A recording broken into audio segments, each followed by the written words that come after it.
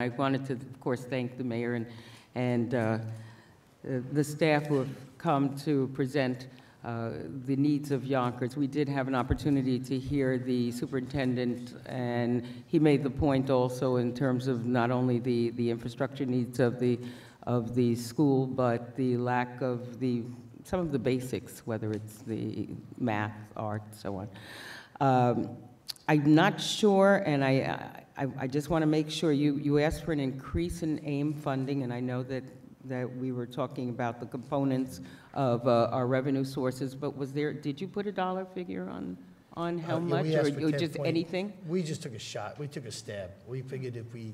Don't smile when you're doing, it. be serious, yeah. Okay, I'll be. It said we figured if we uh, stick with the two percent Okay, increases, that we'd be about Okay. point eight million. okay, so, so at least a 2% would be helpful in, in terms Yeah, of, that, that would be consistent with the governor's two percent growth, so that, so as not to exceed that. gotcha, gotcha, gotcha, because there has not been an increase in, in AIM That's right. funding for, That's right, and that's, and that's been a, a real burden for us, because again, even if, you know, we, we're, we're doing everything we can to try and come up with additional revenues, uh, we're trying to solve the labor contracts, and which is a real challenge, uh, especially, uh, with some of the, some of the issues that we deal with. Uh, To get it all together, uh, again, we're paying for the sins of the past. The city's doing well, the city's starting to grow, our revenues are up across the board, and that's a good thing for us, because economically, we're moving in the right direction.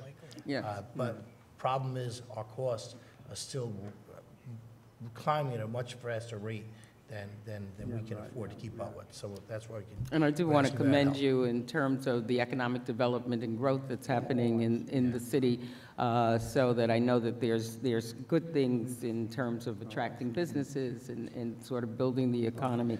Uh, You also mentioned the $28 million, and, and you were hoping that that would be, uh, yeah, last year when, when, uh, when Yonkers had that uh, Right. budget mishap with the Board of Education, uh, the governor made available to us uh, discretionary $28 million. Uh, We're going to be working with the administration to see, and we would and love to get your help, to see if we can get that money uh, put back again uh, to help us to get through, uh, the- they're still going through the crisis of what happened last year, and that would Right. really help us get through uh, the uh, the current problems.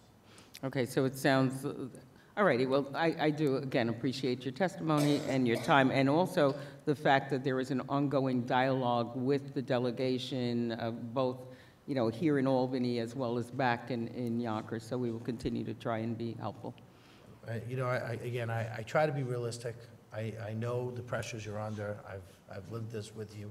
Uh, And, uh, you know, like I said, you, you- you've all been a great partner with Yonkers, and I'd just like to keep that partnership going. I think there's uh, some, some areas that you can be very helpful to us, and, and I, I think that in time, uh, we'll, we'll grow out of this. We'll grow out of the problems, and we could do it on our own. And that's where we want to do it. We don't want to do it with a control board. We don't want to have, uh, you know, uh, someone else coming in and taking over the city. What we rather do is, is, is be strong enough to take the responsibilities on our own, and we've been doing that in a very bipartisan way back at home. Uh, And everybody's been responsible. But it's still a very difficult time, and we'll get through it with your help. Thank you, Mayor.